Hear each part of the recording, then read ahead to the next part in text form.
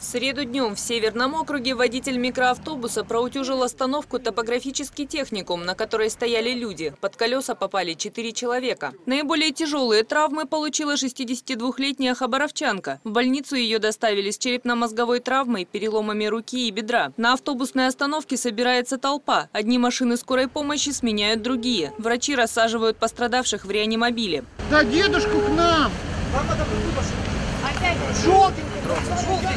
Трое человек, двое мужчин и женщина, были госпитализированы с травмами головы и ушибами. К медикам обратилась и продавец киоска «Союз Печать», в который пришелся финальный удар иномарки. Женщина была шокирована. Из-за случившегося у нее поднялось давление. Я стояла возле прилавка, работала с документами. Вдруг удар сильный очень, и все вокруг посыпалось, засыпало меня, все обрушилось.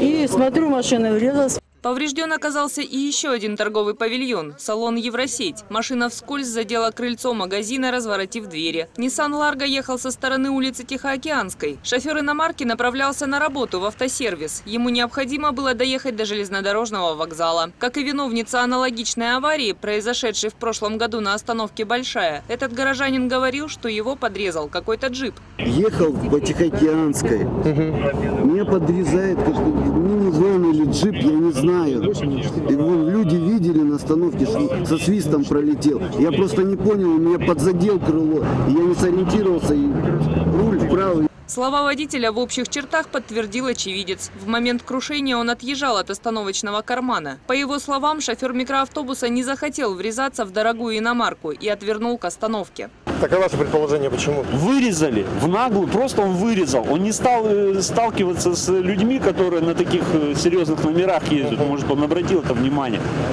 И вправо дал просто и все. Полицейские на месте провели освидетельствование автолюбителя. Мужчина оказался трезв. Однако садиться за руль он все же не имел права. Водитель ранее был лишен прав управления автомобилем до 2019 года за отказ от медосвидетельствования. Мужчину отправили на еще одно освидетельствование. В больницу у него взяли пробы на наркотики. Результат теста будет известен через 10 дней. Накануне мужчина праздновал свой 36-й день рождения. С места происшествия Евгения Куликова, Александр Ефанов и Степан Симонов.